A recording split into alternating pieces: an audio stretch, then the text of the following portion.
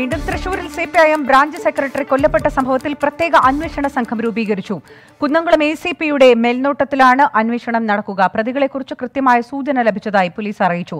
അക്രമി സംഘത്തിൽ നാലു പേരുണ്ടെന്നും പരിക്കേറ്റവർ പോലീസിനോട് പറഞ്ഞു. കൊലയ്ക്ക് പിന്നിൽ സംഘപരിവാറാണെന്ന് സി പി ഐ എം സംസ്ഥാന സെക്രട്ടറി കോടിയേരി ബാലകൃഷ്ണൻ ആരോപിച്ചു. ദുഃഖാചരണത്തിന്റെ ഭാഗമായി ചൊവ്വന്നൂർ പഞ്ചായത്തിൽ സി പി ഐ എം ഇന്ന് ഹർത്താൽ പ്രഖ്യാപിച്ചു. ഡിവൈഎഫ്ഐ സംസ്ഥാന വ്യാപകമായി കരിദിനം ആചരിക്കുകയാണ്. കൊലപാതകത്തിൽ പങ്കില്ലെന്ന് ബി ജെ പി ജില്ലാ നേതൃത്വം വ്യക്തമാക്കി. കൂടെയുള്ള പ്രതികളും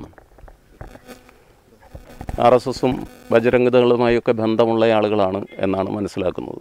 മയക്കുമരുന്ന് വിഭാഗമൊക്കെ ആയി ബന്ധപ്പെട്ട് ഇത്തരം സംഘങ്ങളെ സംരക്ഷിക്കലാണ് ആർ എസ് എസിന്റെയും ബജരംഗദൾ പോലുള്ള സംഘടനകളുടെ ഈ പ്രദേശത്തെ ചില സംഭവങ്ങൾ ഞങ്ങൾ നോക്കി കണ്ടിട്ടുള്ളത് അത്തരം ആളുകൾ ഒരു ക്രിമിനൽ പശ്ചാത്തലമുള്ളവർ കൂടിയാണ്.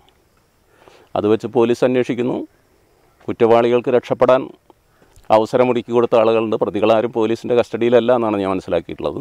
വീണ്ടും ഒരു മനുഷ്യജീവൻ നഷ്ടപ്പെടാൻ ഇത്തരം ക്രിമിനൽ സംഘങ്ങൾ കഴിഞ്ഞാട്ടത്തിന് അവസരം കൊടുക്കാതിരിക്കാൻ അതിശക്തമായ ഇടപെടൽ സർക്കാരിന്റെ പോലീസിന്റെ ഭാഗത്തു നിന്നുണ്ടാവും ഒരാളാണ് മരിച്ചിരിക്കുന്നത്. ബാക്കി മൂന്ന് പേർക്കാണ് ഇഞ്ചുറീസ് കിട്ടിയിട്ടുള്ളത്. അവർ ഹോസ്പിറ്റലിലാണ് ഇരിക്കുന്നത്. ഒരാൾ ഡിസ്ചാർജ് ആയി പോയിട്ടുണ്ട്. രണ്ട് പേര് ഇന്നും ഹോസ്പിറ്റലിലെയാണ് നാല് പ്രതികളെ നമ്മൾ തിരിച്ചറിഞ്ഞിട്ടുണ്ട്. അവർ അവരുടെ തെരച്ചിലിന്റെ ഊർജിത ശ്രമമാണ് ഇപ്പോൾ നടക്കുന്നത്. അന്വേഷണം എല്ലാ രീതിയിലും നടക്കുന്നുണ്ട്. അപ്പോൾ പ്രതികളെ കിട്ടിയ ശേഷം ചോദിച്ച് കാര്യങ്ങൾ മനസ്സിലാക്കിയ ശേഷം നമുക്ക് ബാക്കി പ്രതികരണം പോകാം